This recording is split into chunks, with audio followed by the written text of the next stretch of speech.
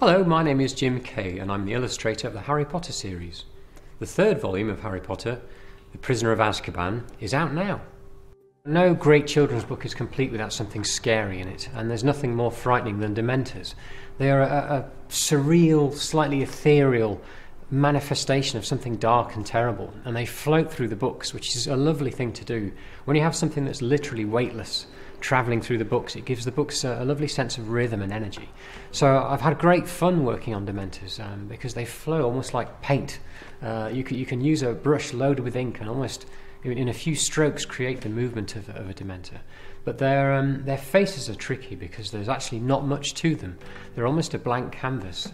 And the only really defining feature is this cavernous open mouth, uh, like a hole through which people's souls are sucked.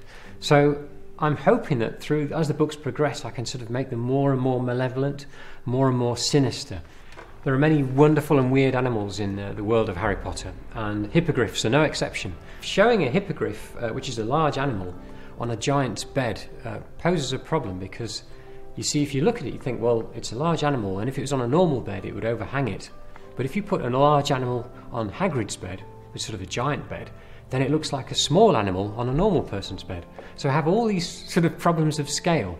So I think I put a chicken in the picture just to show that it was a big hippogriff on a giant bed. Uh, so the, you need a scale reference sometimes. We have some wonderful characters in Harry Potter, and one of my favourites is Severus Snape who's a, an interesting, tricky character uh, who becomes more involved and perhaps harder to read as the book progresses, really. Um, so, in this particular volume, Prisoner of Azkaban, I did a portrait of Severus. So, in the painting are several objects which, re- which relate to Severus's character. Uh, you can see a slug, a black slug, which is a, a, little nod to the Slug Club, of which he was a member. Um, also, there's a, a mole captured inside a, a glass jar. And this is really my way of saying, well, he was a mole, effectively, a spy working for both sides. Uh, and he was dungeoned by this position. He was sort of uh, trapped by it, which is very sad, ultimately.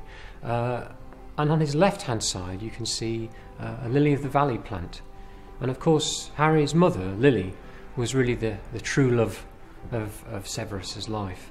Um, so that's, again, my little way of, of trying to fill out his character in visual form.